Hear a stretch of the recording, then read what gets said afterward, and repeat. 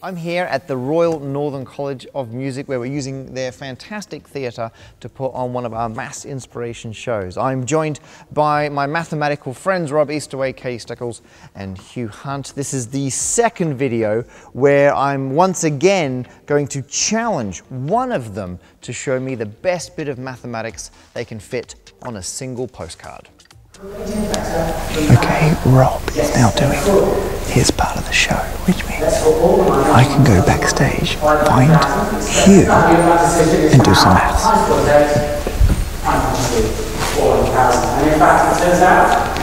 I'm now backstage with Hugh while Rob is out there doing something with the young people, and you were showing them some mechanics. Uh, so, what are you going to show me? Riding the Wall of Death, Guy Martin wanted to ride around a vertical This is one of the things you showed the students. this you had a little video from what channel was it on? It was on Channel 4. Channel 4 did a video of Guy Martin, something, he's a motorbike guy, Yeah. riding around a wall of death. And he wanted to ride at 100 miles an hour. Now, a typical Wall of Death, Right. it's about a four metre diameter circle, the ones you see in fairground rides okay, at yeah. fairgrounds. And uh, they ride at about 25 miles an hour. So he came to you and said, I want to do that. Yeah, 100 miles so an hour. yeah, I really, uh, I'll be able to do 100 miles an hour. Basically, Guy Martin says I can do it. But what's beautiful is that he does believe in the maths. And so he will say, if I had been, if I had my time over again, I, I wouldn't have fallen asleep in maths lessons. I would have more paid maths. attention. But now because he's gonna come now I you to do the realise it's so important. And I know that it's right. Now, what's interesting is that if you think about your speed, and you might me- measure speed in meters per second, Yep, I do. and you might measure the radius of a circle Yes. in meters. Jesus, good. Yeah. And the, the g force you experience, that's the, the acceleration you experience. So at the moment you're standing Right. here, you f- experience A one single G. And g, the g force, we measure that in meters per second squared. So normally we have G from gravity straight down, but you're using it in a more general, just acceleration pressing Yeah. you against something. So if you had, if you felt twice as heavy, four times two as heavy- Gs. two Four Gs. four G, Got it, right. got it, got it. So, but that we know what the units. the units are meters per second. Yeah, okay. Squared. Now, the only way we can combine these things, if I call this speed, let's call that v, the radius r, Yep. and we've got g. The only way we can combine these things so that the units cancel out is like this. How'd you work that out? Well, because v squared gives me seconds squared, and that's what I need over here. So you've looked at these units and gone, Ooh. you, d- I don't know what the equation is, Right. but if this is meters per second squared, the only way I can get those Seconds units squared is by from squaring these, i got to square that. that. And then I've got one Ah, too I've got many one m's. too many m's. So I've got to divide by r. And this means I've So you just derived that then from the units? yeah. That's amazing. But it, it, there- there could be a coefficient at the front that we don't know It could about. be, yeah, it could be a coef- co- coefficient. So it could be pi. It could be seven. Right. Um, so interesting. For instance, you might take um, the period of a pendulum Right. is root L over G. 2 pi. That's a two pi. 2 pi? Okay. Yeah. So You how never do you know, know? you never know. You never know. But at least you know that the period of a pendulum is independent of mass. Got it. Because right. So here. So you know some multiple at the front, but it's constant. Yeah. It only depends on the velocity squared over the Right. radius. Yeah. So now Guy wants to go around a circle at uh, normally you do 25 miles an hour. He wants Yep. to do 100.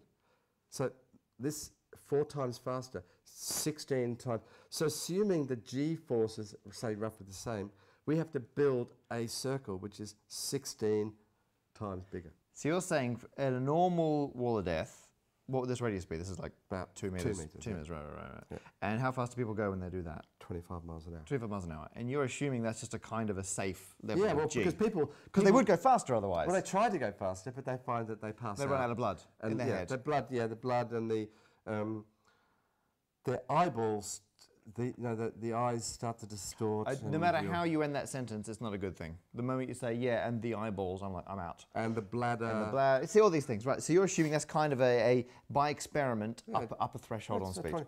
And um, So we want to go from 25 miles an hour to 100 miles an hour. yeah, and so uh, the idea that Guy Martin could just do it on this little wall is it's silly Insane. because He's going to have s- the G forces will be 16 times. 16 times, pass okay, out. that's So we've got to make the radius 16 times to bigger. compensate.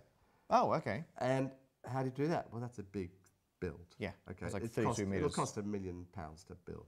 set. It's just too. And you need It'd a be like, like it'd be like 200 meters around, yeah, around this way. Yeah. and like 60 whatever meters. yeah. across. So, and it's um, That's doable. and but you've got to do it indoors because it's really important that it doesn't get wet. Ah, right. so okay. if it rains, then it's too slippery. Channel 4 weren't going to fund that. Well, where are you going to find a place that's indoors? Yeah, Millennium Oh, okay, yeah. yeah, Dome or something. Yeah. Um, but uh, so we found summer indoors, a disused hangar, a World War II Yeah. hangar, um, but we could only fit a 40 metre wall in there. Right. So that's interesting. 40 metres Diameter. diameter instead of 4 metres diameter. Right, okay, so 10 10 times. times bigger radius. So the speed can be roughly Square root of that, of about 10. pi. About pi, that's right. So three Oh, and a three, bit three, times. yeah. Uh, and what speed did he manage? 80 miles an hour. It's kind it's pretty of much, pretty much. So he pushed Exactly. it slightly, but not. so he did he achieved what we would expect to achieve from the maths. And what I think is great about this is that we can derive this equation, which you know kids at school do for their mechanics Yep. their A levels. Because you were showing these exact equations to the students. Yeah, but you can derive it just by looking Knowing at the the, units and a little bit of logic. The units. That's so good. And what I love is uh, when Guy came to you and said, I got this crazy idea, you probably pretty much did this level of working out. Yeah, that's it. And this is it. And that, that's all you need. So, So what, so what, what, what, I, what I think that Guy um, realised was that he, deep down, he is not a particularly special human being. He Right. has eyeballs and bladders, bladders and things he likes to keep like where they are. anybody else, right? And uh, so he said, "Yeah, okay, 80 miles an hour. That's it."